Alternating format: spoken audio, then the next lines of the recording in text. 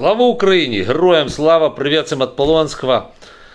Россия – страна вор и страна мародер. И все мы это прекрасно знаем. Что она делает? Она ворует украинское зерно из Бердянска, загружает свои фашистские корабли, только крестов на них черных не хватает на этих кораблях, а так все, глядишь, чисто гитлеровские корабли.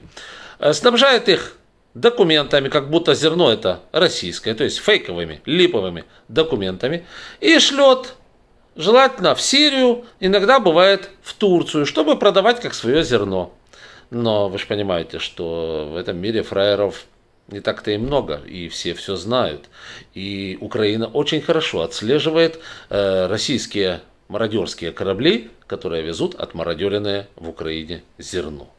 И вот последний пример. Последний раз э, корабль с украинским зерном дошел до Турции, уже стал под разгрузку прямо сейчас, это было сегодня. И вот посол Украины в Турции Василий Боднар сообщает, этот корабль арестован турецкими таможенными органами по запросу Украины, потому что зерно на нем ворованное, документы на все зерно фейковое, зерно украинское. Соответственно, продавать его никак невозможно. Соответственно, это корабль вор, корабль мародер. Арестовано не только зерно, но и корабль. Слава Украине!